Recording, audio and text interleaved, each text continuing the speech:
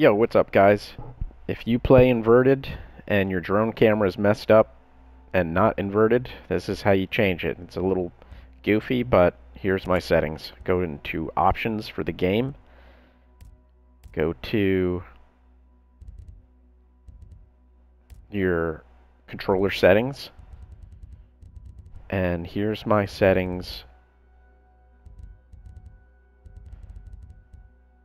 invert camera I have turned on. I have ground vehicles invert camera turned on, helicopter and airplane.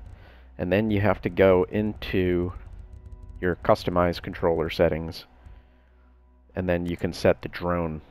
Um, so just go all the way over to, and you might have to just, here's my helicopter, I'll just show you all my settings. Helicopter settings, um, airplane, pitch up, pitch down,